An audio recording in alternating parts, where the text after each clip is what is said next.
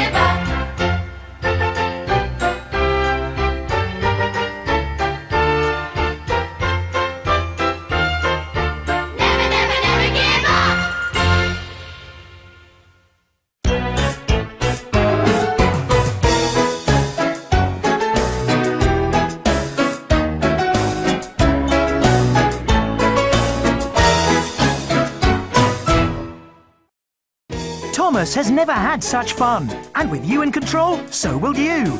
You'll love Hornby's Thomas and Friends electric train sets and accessories.